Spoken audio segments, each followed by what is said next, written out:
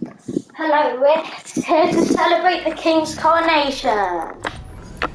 Here we go.